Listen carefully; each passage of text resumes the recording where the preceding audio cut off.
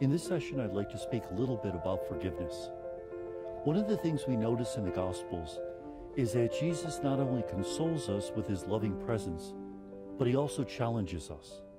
In fact, when St. Peter went up to Jesus and asked him, Should we forgive seven times? Jesus' response was, We should forgive 70 times seven. Now, seven times, seven is the perfect number, so it's already an infinite number of times that we should forgive.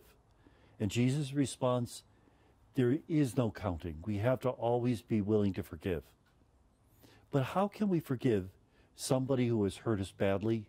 How do we forgive things for that people who have passed away have done to us in the past? How do we let go of these things? I think there are a couple of common sense rules that we should follow.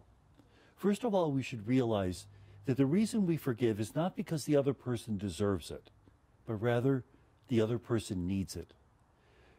The, that which the person has done to us is a symptom of that person's brokenness. Now, we don't know why the brokenness is there. Might have been part of that person's choice. It might have been something done to that person, but the person is broken. And the hurt that they've inflicted upon us is a symptom of that brokenness. And we don't want to make the hurt worse. And therefore, we choose to love them, even though it's difficult. And notice I use the word choose, because forgiveness is not a feeling that we experience and everything's fine. Forgiveness is a tough choice that we make, that we're not going to allow the other person's conduct to influence how I'm going to respond to that person. It's no longer an eye for an eye and a tooth for a tooth, but rather the idea that I will love this world into healing. And so I forgive the other person most of all because the person needs it. Second, I forgive the person not because I think the person is going to stop doing what he or she is doing. That person will probably continue. But I refuse to allow that conduct to influence my response. I choose to forgive that person. And I forgive the person because I want to create a better world. I realize that only love can change this world. I think of St. Maximilian Kolbe, who was in the concentration camp in Auschwitz. He was asked by a fellow prisoner, Shouldn't we hate the Nazis? And his response is no. Only love creates. Only love changes this world and makes it into God's kingdom. And so when we forgive others, it's a very godly thing. And when we forgive others, it also opens our hearts to accept the forgiveness that God is offering us. Because if we, because if we refuse to forgive them, it's a sign that our hearts are closed, that we're not willing to forgive them. And it means that we can't accept God's forgiveness, even though God's always offering it. Our hearts are closed to it. We're in charge, we're in control. Forgiveness is an act of surrender, an act of healing, both for the other person and for ourselves. In fact, Nelson Mandela said, to hold on to a grudge is like taking poison and thinking it'll hurt the other person. The person we hurt most when we refuse to forgive is ourself. Now, what happens when I think I forgave and it comes back?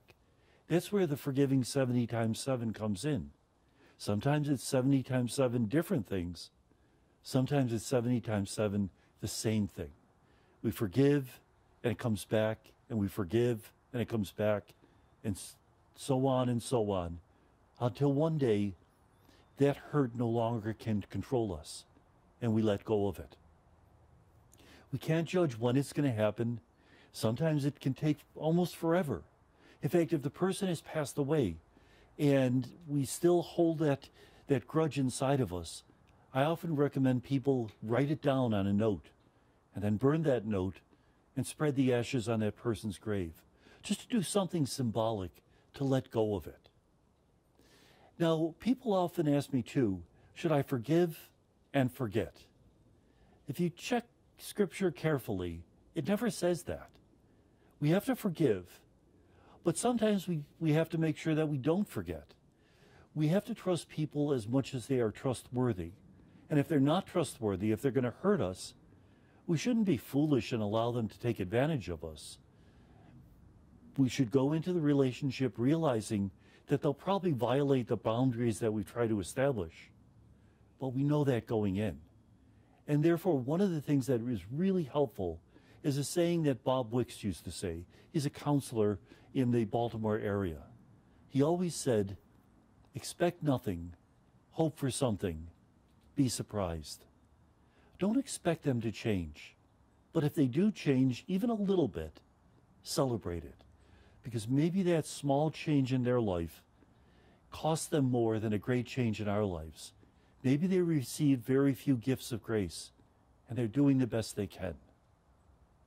And so when we forgive, we are doing something very godlike.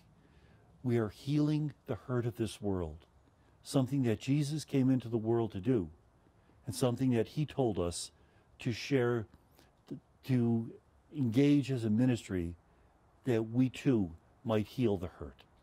And if you want more information about the freedom of forgiveness, I would recommend that you contact the Companions of St. Anthony and ask for Good News Note number 33, written by Father Jim Elliot. And may God bless us.